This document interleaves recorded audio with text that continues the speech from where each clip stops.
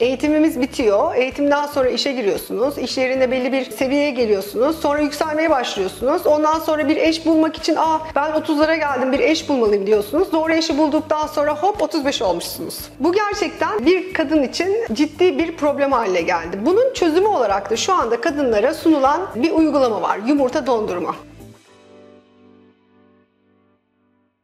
Merhaba sayın sevgili seyirciler. Bu videomuzun konusu yumurtaları dondurmalı mı, dondurmamalı mı? Yumurta dondurma nedir? Kimler yaptırmalıdır? Şimdi kadınların temel, vücutlarının temel fonksiyonu biliyorsunuz ki gebelik, çocuk doğurmak. Bizim yaratılışımızdaki fonksiyonel şeyimiz bu. Hemen lütfen şey yapmayın. Aa bir kadın sadece gebelik için yaratılmadı falan demeyin. Yani o tabii ayrı bir iş. Kadının toplumdaki, iş yerindeki, evdeki yeri tamamen ayrı. Ben sadece fiziksel, bedenen kadının rolünü konuşuyorum. Kadının yaratılışını konuşuyorum. Şimdi bizim kadın olarak yaratılışımızda bir görev var değil mi? Çocuk doğurma görevi. Şimdi bu kadında nasıl gelişiyor? Ne zaman gelişiyor? Kaç yaşında geliyor? Kaç yaşında kadın bu konuda artık ben çocuk doğurmalıyım, evet ben çocuk doğurmayı istiyorum gibi düşüncelere kapılıyor. Bununla ilgili The Guardian'da bir makale vardı. Makaleyi yazan yazar kadın diyordu ki ben hayatımın hiçbir döneminde çocuk doğurmak istemedim ve bundan sonra çocuk doğurmak istemiyorum ama yaşım ilerledi ve eşim baba olmayı hak ediyor e, diyerek bir makale ele almış ve bu konuyla ilgili artık kafasının karıştığıyla ilgili bir yazı yazmıştı.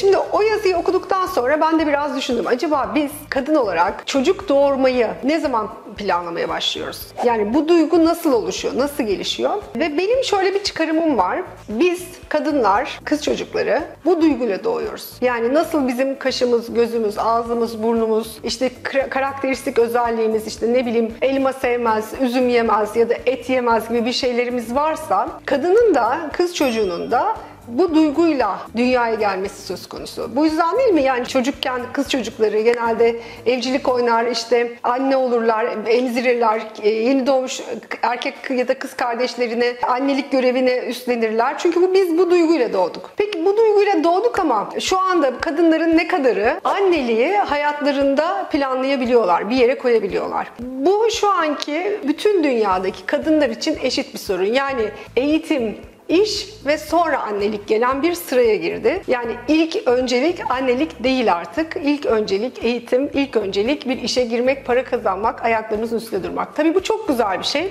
ama maalesef bu bizim fizyolojimizin, yaratılışımızın temelindeki bütün dinamikleri patlattı. Çünkü bunun için yani eğitim süreci çok uzun. Eğitimimiz bitiyor. Eğitimden sonra işe giriyorsunuz. İş yerinde belli bir e, seviyeye geliyorsunuz. Sonra yükselmeye başlıyorsunuz. Ondan sonra bir eş bulmak için aa ben 30'lara geldim bir eş bulmalıyım diyorsunuz. Doğru eşi bulduktan sonra hop 35 olmuşsunuz. Bu gerçekten bir kadın için ciddi bir problem haline geldi. Bunun çözümü olarak da şu anda kadınlara sunulan bir uygulama var. Yumurta dondurma. Yumurtalarınızı dondurursanız istediğiniz yaşta, istediğiniz zamanda, istediğiniz kişiyle bir bebek sahibi olabilirsiniz deniyor. Peki bu doğru mu? Yapılmalı mı? Bununla ilgili sizinle biraz konuşmak istiyorum. Kadının doğurganlığının en yüksek olduğu yaş 20 yaşlardır. Yani 19, 20, 25 yaş arası kadınlar 4 kadından birisi her ayki adetinde gebe kalabilir. Ama 35 yaşının üstüne çıktığı zaman bu oran onda 1'e düşüyor. Yani 10 kadından artık biri gebe kalabilir. Yani %10 her adette bir kadının gebe kalma oranı %10'a düşüyor. Şimdi kız çocukları ilk doğduklarında yumurtalarında belli bir yumurta sayısıyla doğuyorlar ve bu yumurtaların sayısı zamanla gittikçe azalıyor, azalıyor, azalıyor ve menopoza geldiğiniz zaman bitiyor. Ama sorun şu ki bu yumurtalar hani 40 yaşında hala yumurtanız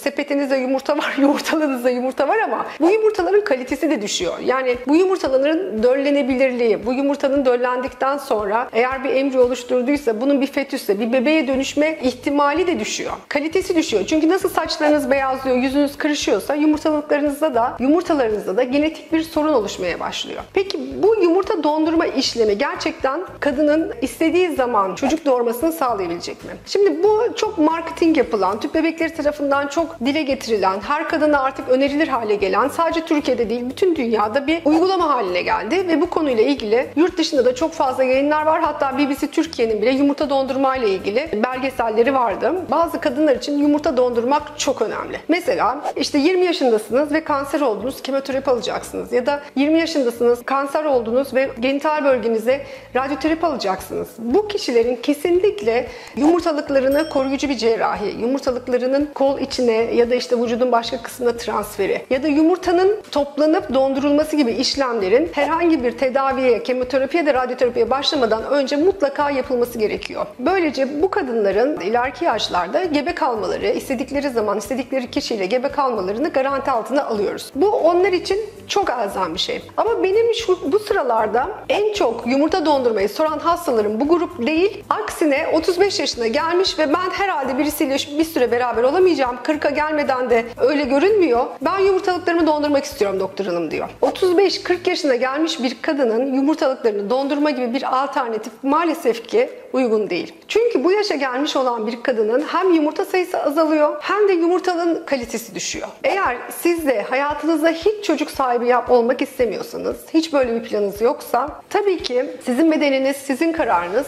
Bu konuda hiçbir zorlama, hiçbir şey yok. Hiçbir şey yapmadan devam edebilirsiniz, korunursunuz, spiral kullanırsınız, hani kendinizi gebelikten korursunuz. Ama eğer aklınızın bir köşesinde ben tabii ki bir çocuk sahibi olacağım. Şimdi değil ama çok ileride ama mutlaka olacağım diyorsanız işte bu kadınlara seslenmek istiyorum. Lütfen önceliğinizi işte o ileriyi ertelediğiniz çocuğa verin. Çünkü ne kadar erken gebelik olursa o gebelik o kadar iyi geçer, o bebek o kadar sağlıklı doğar, o anne bebeğine o kadar iyi bakar. 40 yaşındaki kadınlar şu anda çok fazla sayıda gebe kalıyor mu? Kalıyor. Çocukları oluyor mu? Oluyor. Sağlıklı olanlar var mı? Tabii ki var. Ama sizin duymadığınız, belki görmediğiniz çok sorunlar yaşayanlar da var. Hiç gebe kalamayanlar da var. Başkalarının yumurtasını almak zorunda olanlar da var.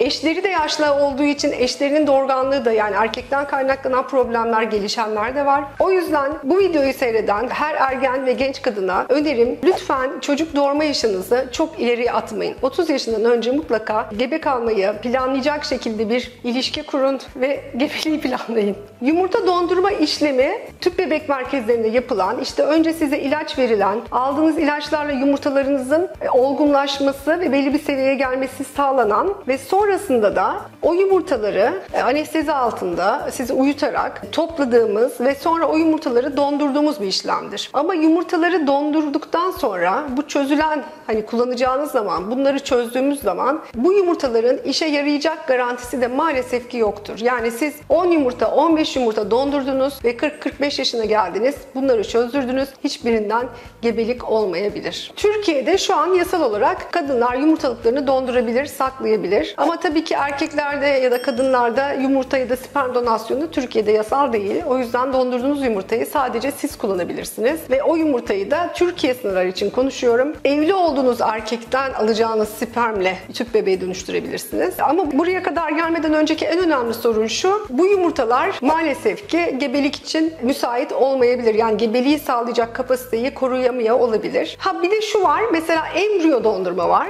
Embriyo dondurma yumurta dondurmaya göre daha başarılı. Yani mesela 5 embriyo dondurdunuz. Onlardan bir ya da ikisi ileride size gebelik olarak geri dönebilir. Onların onların çözüldükten sonraki bebeğe ilerlemesi daha başarılı oluyor. O yüzden eğer genç bir çiftseniz ve çocuk istemiyorsanız yumurta dondurmak değil de embriyo dondurmak yönünde araştırmalarınızı yapabilirsiniz. E, doktorunuzla, hekiminizle konuşabilirsiniz ve kararınızı ona göre verebilirsiniz. Biliyorum çok iç açıcı şeyler söylemedim ama çocuk da yaparız, kariyer de. O yüzden lütfen kariyeriniz için çocuğunuzu, çocukluk için de kariyerinizi ertelemeyin. Siz güçlü kadınlarsınız. İkisini de yapabilirsiniz. Sormak istediğiniz herhangi bir şey varsa yorumlara yazabilirsiniz.